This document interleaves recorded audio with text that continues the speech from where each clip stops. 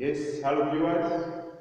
In our previous session, we were looking at some simple business calculation numbers. Today we want to continue. There's another number that we want to focus on today. Uh, we're given information and I'm going to just read it for you so that we, we move together. It says we have sales, given sales 1,500,000, average stock 120,000, return inwards 75,000, rate of, rate of stock turn 6 times, uh, expenses 90,000, purchases 600,000, return outwards 45,000. And we asked Roman 1 to calculate turnover. Remember, turnover is the same as net sales. So how do you get net sales?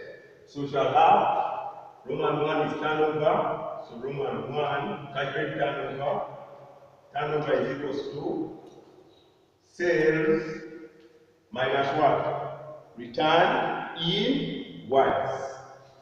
Return inwards.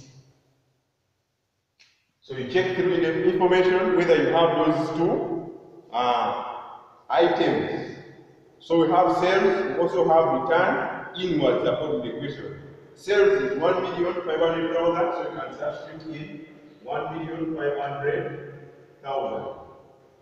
1 million 500,000 minus returning inwards is uh, is 75,000. That's the return inwards. So you can sub, subtract and get the final answer. Try it out. You have 1.5 minus 75. Yes, 75, that is a 5. 9 minus 7, that is 2. This is 4. 1. So you have 142,000. So 1 million 420, 1 million 425,000 shillings. That is the turnover. That is the turnover. That was Roman 1. Imagine this was carrying 4 marks.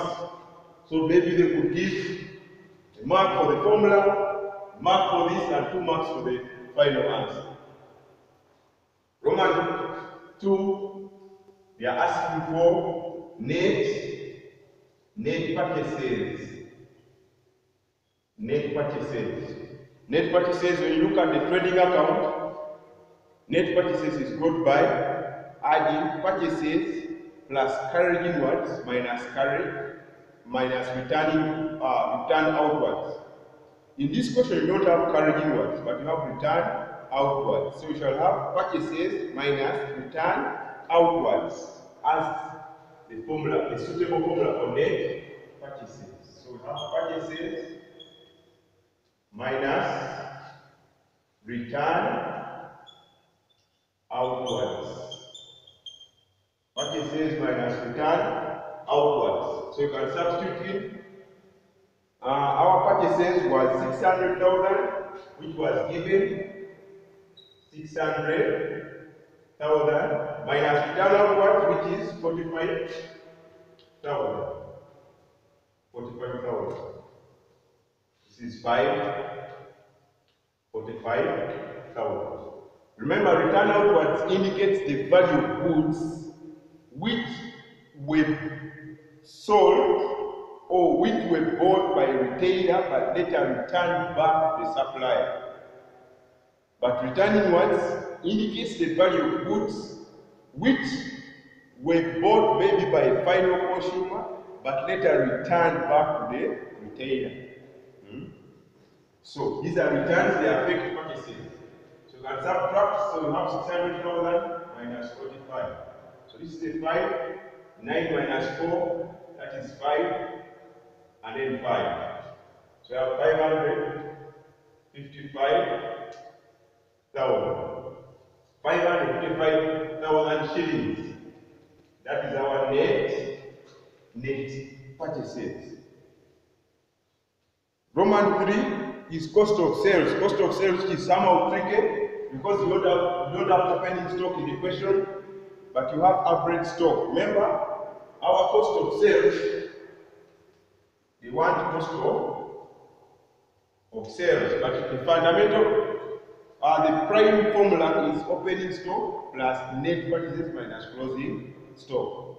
However, that's the, not the only way you could get cost of sales. According to this information, you have average stock, you also have rate of, rate of stock turn.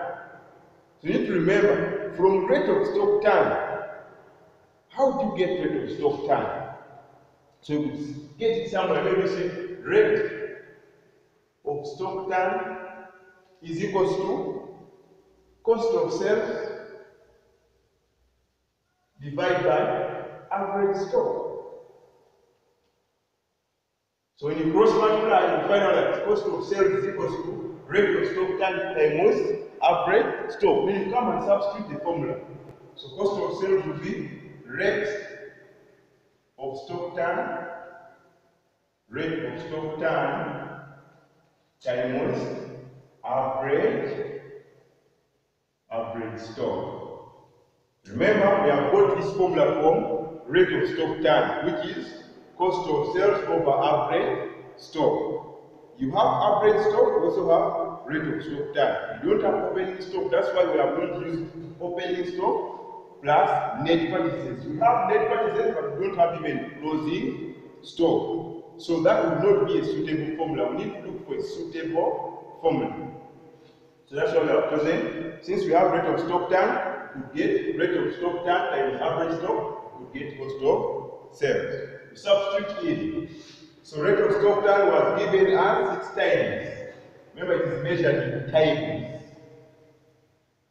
Six. That is substitution. And with average stock, which was 120,000. That is average stock. So we have 120 times 6 is the 0, 6 times 2, 12, 6 times this, uh, 6 plus 1, 7. So you have 720 what? 720,000 shillings. That is what? That is our cost of sales. That is our cost of what? Sales. Roman 3 is asking for, uh, it is asking for gross profit. Asking for gross profit. So remember gross profit. This information is got from the trading account, where we get the gross profit, where we say selling price minus cost price. Selling price is net sales to sell turnover. Cost price is the cost of sales. So when someone has asked you calculate gross profit, that is simple. Have, have you got this and you also have this? So we just say uh, gross profit, gross profit is equals to turnover, which is indicating the amount of money from the goods sold, minus cost of sale, cost of what? Sales, which is indicating the cost price.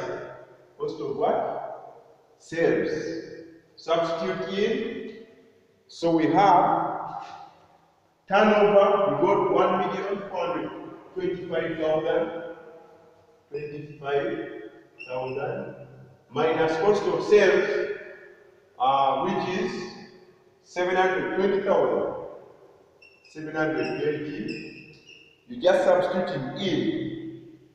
Our formula was gross profit is turnover minus cost of sales. You have your turnover of for 1,425,000.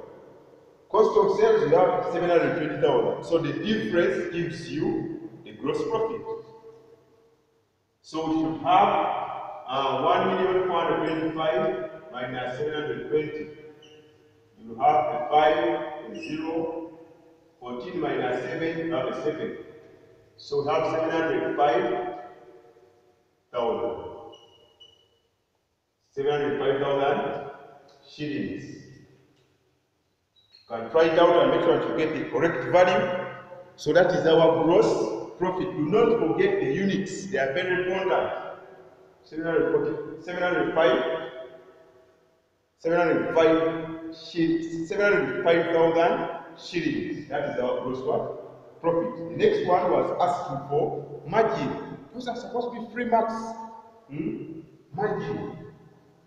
So margin is equal to, remember I margin is on sales or net sales, but it's a gross profit percentage.